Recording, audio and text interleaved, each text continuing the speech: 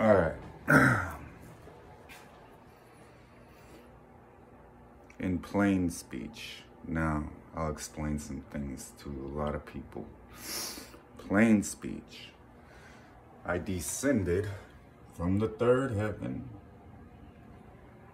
And I've kept descending and kept descending and kept descending so that when I speak, I can speak at length with experience because I know for sure the way I was led by me up here where the Holy Spirit came from according to scripture.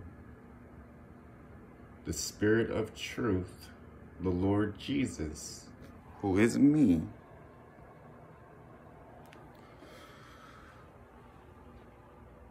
And as scripture says, that the world can't see. So that differentiates me and what I was communicating through various means as close to what I meant as it pertains to the definition of what people believed versus what they knew. That's the plainest I can get to that. We've come a long way from Shakespeare, beloveds, as far as the command of English.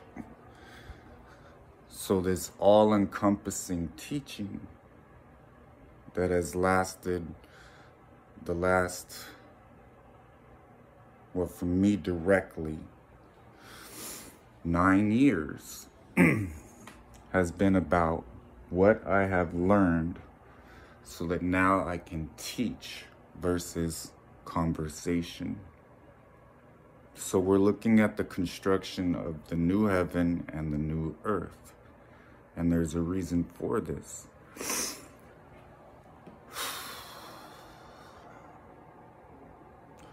To differentiate myself at times. And the reason why I did that is I could notice there was another spirit imitating me in your life. And if I noticed that you were leaning towards following that again, I used strong language. Because there had to be a differentiation.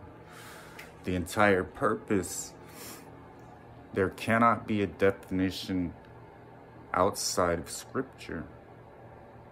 And from what I've seen, and I know why, I started viewing Christians as, wait, I was trained in the church. I have an Issachar anointing. God chose someone put it simply, to make sure that he first heard from me up here and laid that anointing on me. So my eyes then know the difference between, okay, that's what it was like to be asleep, but I was not asleep. When you have eyes to see, it's different. So no, I'm not and will never be ops. Satan just means adversary anyway. The devil has come down to earth. and it's not one huge spirit called the devil.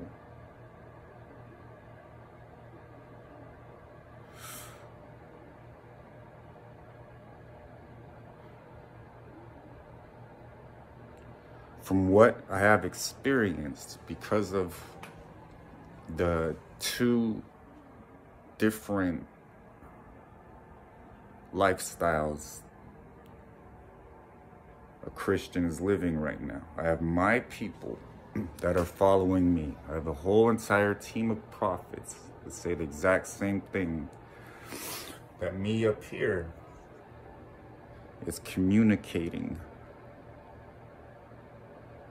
And then I have people that labeled themselves Christians that aren't doing any of that or attempting to or being led to.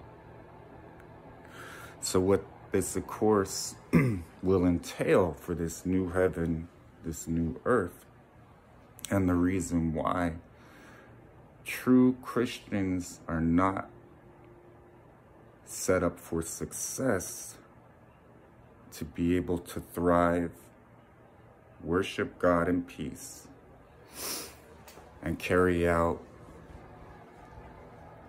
their daily journey with Jesus. This, of course, upset me. it did not matter how many times I would say, that's not me. Please stop speaking for me. But that has been off and on for the sake of being easily understood, we'll say 500 years. what I noticed the most is a Christian could be the enemy one day, and a Christian could be trying depending on what they were going through. If things stopped going good for them, they would repent and they would start trying again. So it made it very difficult for myself and my people to trust anyone. The world had horrible experiences with people that called themselves Christians. So this veil that I just tore apart so you could see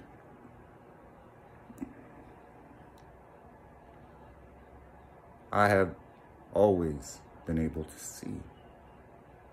So the preparation for this moment has been very, very copiously recorded in every sense of the word. On the news, through history, here, through my prophets.